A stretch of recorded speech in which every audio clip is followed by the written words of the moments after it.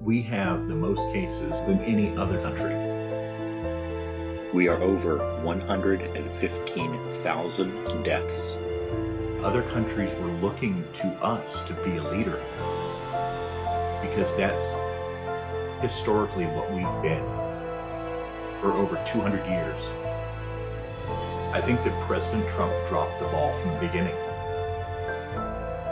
And that's why we have fallen so far behind.